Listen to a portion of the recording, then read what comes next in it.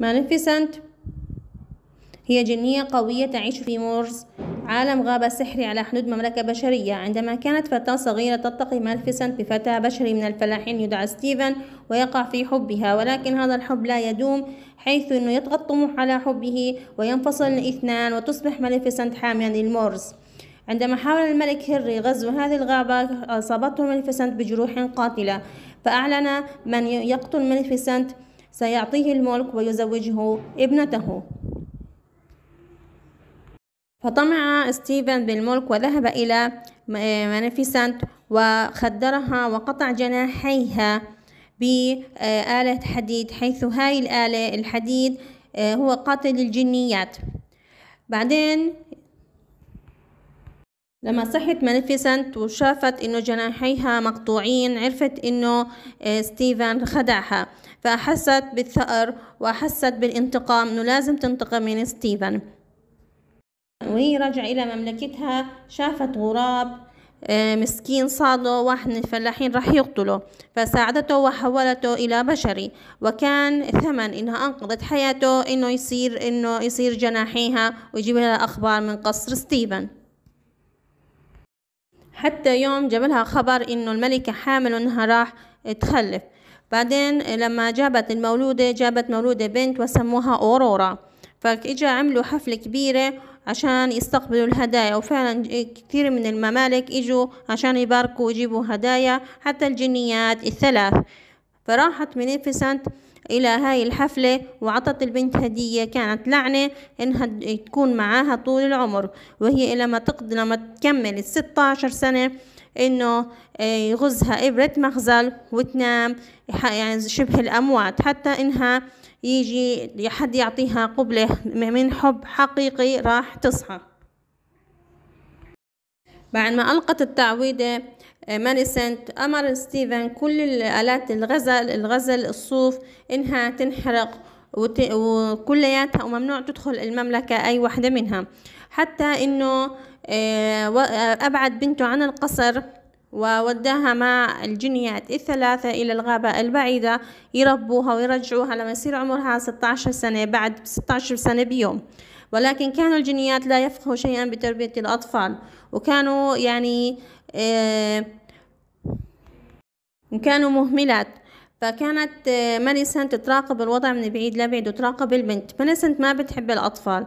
فكانت تراقبها من بعيد لبعيد وكان دايما الغراب اللي هو جناحيها اعتبرته يجيب لها الأخبار أول في أول. وكبرت أورورا وكانت ماليفيسنت تراقبها بكل خطوة بخطوة. حتى إنها كانت أورورا تيجي عندها على الغابة اللي حولتها لغابة الظلام وحمتها بأشواك وأشجار مليئة بالأشواك عشان ما حدا يقدر من الجنود يدخل عندها. فكبرت أورورا وراحت شافت ماليفيسنت وصارت تروح عندها كل يوم وصارت تخي... تخيلتها إنه هي الجنية الخيالية اللي بتحميها. لسه ما كانت عارفة شيء عن التعويذة. حتى كان قبل ما تكمل 16 بيوم آه، راحت عند ماليفيسنت وطلبت منها إنها تعيش عندها للأبد. فحكت لها ماليفيسنت إنه ما عندها مانع إنها تيجي تعيش عندها. فراحت عشان تخبر خالاتها اللي هم الجنيات الثلاث فحكوا لها إنه هذا مستحيل إنه ماليفيسنت هي أصلا ألقت عليها تعويذة شريرة ما تقدر أصلا تروح تعيش عندها. فتغضب أورورا وتروح على قصر أبوها. طبعا أبوها ما عرفها لأنها أصلا جاي بعد 16 سنة فأمر بحبسها. ولكن التعويذة كانت قوية أخذتها لمحل في مغزل و في هاي الأثناء كانت ماليفيسنت آه، جابت أمير كان قابل أورورا على أساس إنه هو إنه إنه يصحيها من السبات ولكن للأسف ما زبط. فراحت آه، مانيفيسنت اعتذرت من أورورا وحكت لها إنه آه، هي احتلت جزء من قلبها وهي فعلا إنها هي بتحبها زي أمها.